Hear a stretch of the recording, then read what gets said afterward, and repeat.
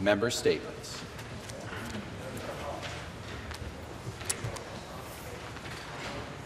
Member statements. The member for Hamilton Mountain.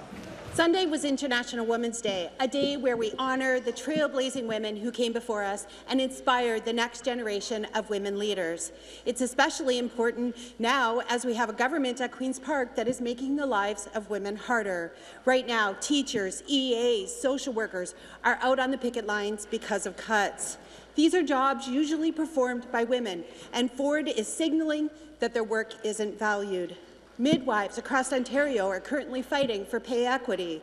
Childcare workers and PSWs are fighting to keep their wages above the poverty line. Marginalized women are feeling the brunt of this government's policies. Last week, the Ford government cancelled funding for sexual assault crisis centres and then quickly backtracked once the news of their cruelty got out. We've seen mothers with precarious jobs get penalized because our labour laws don't give them a sick day. On International Women's Day, we need to remember many of these systemic barriers still remain, and this government could easily remove them if it valued the work that women do. I also want to congratulate all of the winners at Hamilton's Women of Distinction Award this weekend. They are Salbina Madwana, Diana Weir, Emily O'Brien, Monique Lavallee, Linda Plord, Dr. Audrey Hicks, Dr. Heather Sheardon, Shyler Sewell, Kayon Christie, and in particular, I would like to mention Lena Sutton, who won Lifetime Achievement Award for her years of relentless advocacy on behalf of women. Thank you very much. I'm going to remind the members that when we're referring to each other in the House, we refer to each other by our ministerial title, if applicable, or our riding name. Member statements. The member for Milton. Thank you. Thank you, Mr. Speaker. As the MPP for Milton, I was proud that my team organized an inspiring Women in Skilled Trades panel discussion and networking session last Friday. I am fortunate to have a great team in my office, Mr. Speaker, who worked hard to put this panel together, which included female business owners, skilled trades professionals, and the minister responsible for children and women's issues. I also want to recognize Conestoga College for being part of the event in celebration of International Women's Day and to highlight the opportunities for women in the skilled trade sector. In Ontario, Mr. Speaker, for every dollar earned by a man, a woman makes 0.74 cents, uh, Mr. Speaker. That is a gap of 26 percent. I am proud to stand alongside the women and men who are working hard to close this gap each and every day. The resources we have locally in Milton that can help women transition into a career in the trades include the Halton Industry Education Council, Habitat for Humanity Halton, as well as the Centre for Skills Development, and the many businesses who are working to hire more women into skilled trades and other professions. I want to thank again everyone for attending and for all those who are working every day to close the gap. Mr. Speaker, thank you. Member statements. The member for Brampton North. Thank you, Mr. Speaker. At the recent Canada 360 Economic Summit, the Premier said, Buy America policies are hurting Ontario businesses and workers. D&R Electronics, a proud Ontario business with headquarters in Bolton, Ontario, has written twice to the Premier to express their concerns that the Ontario Provincial Police continues to purchase and equip OPP enforcement vehicles with U.S. manufactured vehicle equipment. D&R manufactures similar vehicle equipment that to, uh, sorry, D&R manufactures similar vehicle equipment to that purchased by the OPP in the United States.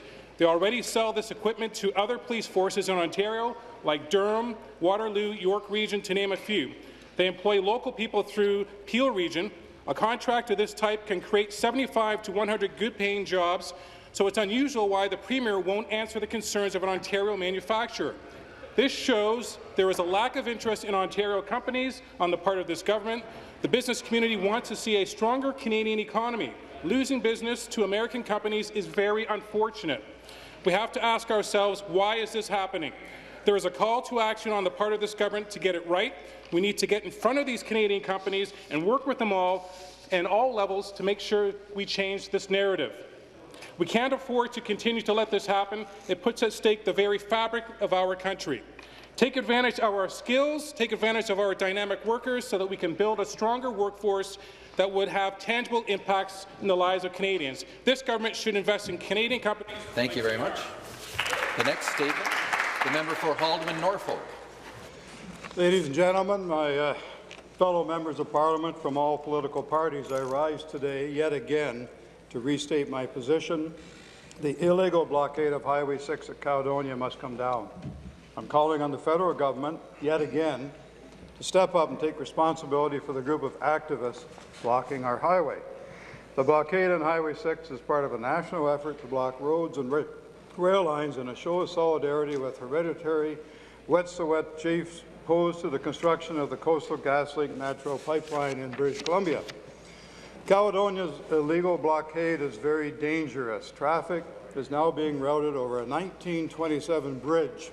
Should have been replaced 18 years ago. Blockade seriously hinders the movement of goods and services and people.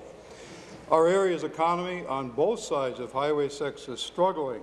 Stores are closing. It's disheartening the Canadian government continues to remain silent. We need a coordinated plan to see these illegal blockades dismantled immediately. We respect the right of a peaceful protest, but enough is enough. Tear down this blockade. Caledonia has been helpless for 14 years and 10 days now.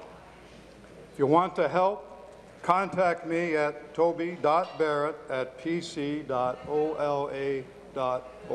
Thank you. Member statements, the member for Sudbury. Thank you, Speaker. In 2018, 230 Ontarians died from workplace-related incidents or occupational disease. My riding of Sudbury, when a life is lost to preventable workplace injury or disease, our entire community mourns together. Speaker, I've been to the funerals of dozens of workers who have been killed in the workplace, and no family should ever lose a loved one this way. For years, the Liberals and Conservative governments have turned their backs on the life and death issues of workplace health and safety. For example, Speaker, the Auditor General's report last year revealed that the Ministry of Labour repeatedly, repeatedly let unsafe employers off the, work, off the hook for the same dangerous problems. Instead of investing in more inspections, more enforcement, this fall the government created a program that will give corporate giveaways to employers who go just three years without a reported injury. This is another harebrained idea they stole from the Liberals. For years, Speaker, the Liberal government ran a similarly flawed cash incentive program, and as a result, unscrupulous companies worked the system. They pressured workers to hide injuries. They rushed the wounded back to work. Speaker, handing out excellence awards for only three years without recording an injury is shameful. The government is wasting money on a program that we already know doesn't work and will put lives at risk. It's unacceptable. Instead of encouraging people to hide their injuries, Speaker, we should be working towards zero injuries, zero fatalities, and zero occupational diseases. Mm -hmm. Thank you.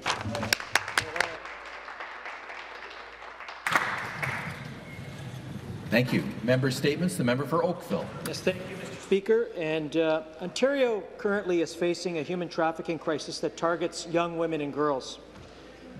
I would like to commend the great work that the Minister of Infrastructure has done in the past on this particular issue, and I'd also like to thank the Associate Minister of Children and Women's Issues for taking action on this file. Human trafficking is one of the fastest growing crimes worldwide. It includes sexual exploitation, forced labour, forced marriages, and even extraction of organs. Globally and locally, the overwhelming targeted victims are young women and children. Nearly two-thirds of police-reported cases in Ontario are taking place here in Ontario, and over 70 percent of human traffic trafficking victims are identified as being under the age of 25. Speaker, nobody is excluded from being a potential victim. Take the region of Halton, where, for example, several months ago, 12 women were rescued from human trafficking that resulted in 72 charges being laid.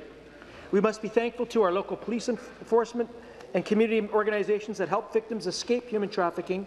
I'd like to thank the great organizations in Oakville and Halton, including Radius Child and Youth, the Women's Centre of Halton, Halton's Women's Place, and Savison of Halton for their great work helping victims.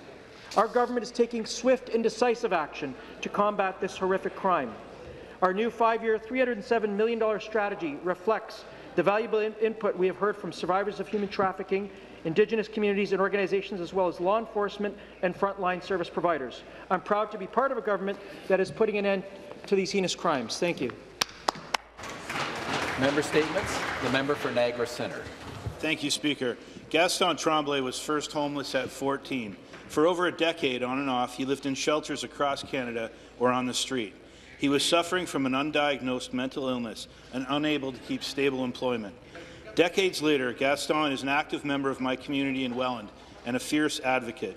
Gaston is one person of thousands in Niagara who have experienced homelessness. Niagara is facing a crisis that has become critical. Thousands of our residents are in shelters or emergency hotel accommodations, unable to find affordable housing. We have heard stories of people in our community forced to sleep under bridges. Niagara's shelters continue to operate at over 100% capacity, with a 160% increase in hotel use from 2017 to 2018.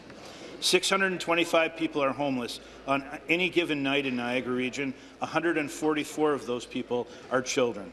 Niagara has fallen behind in funding for homelessness prevention since 2012. Each year this problem persists, the region is unable to meet the growing demand to assist those with housing shortages adequately.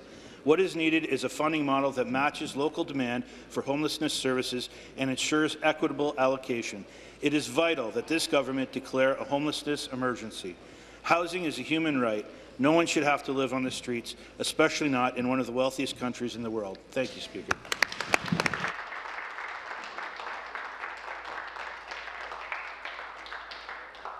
Member statements. The member for Simcoe Grey. Thank you, Speaker. Many small towns across the province are struggling to make accessibility upgrades to their community halls. The Accessibility for Ontarians with Disabilities Act has created accessibility standards that all levels of government, including municipalities, must comply with by 2025. Clearview Township in my riding has seven community small halls. These halls serve as gathering places for community events where people can socialize and play cards or mark important occasions like birthdays, weddings, and family reunions. Clearview's small halls are the heart of their communities and form the foundation of the township's agricultural heritage. Clearview Township founded the Small Halls Festival in 2014, which is held every year in October and features a number of community concerts and events. Mr. Speaker, Clearview estimates the cost of accessibility upgrades to their seven small halls to be in the range of six to eight million dollars. The township wants to know what will happen if the 2025 deadline is missed. Will the township have to close the halls, or will the Ontario government help them to keep them open? Will there be any stopgap measures that can be undertaken that would allow the municipality to prioritize renovations? These are just some of the questions the municipality has posed. While the township values these facilities and wants to do the right thing to keep them open, the costs may be too prohibitive. These buildings are important to the communities they serve. They are the lifeblood of rural Ontario in the areas they serve, and they're significant to my riding, and as such, I look forward to the government's response to this important issue. Thank you, Speaker.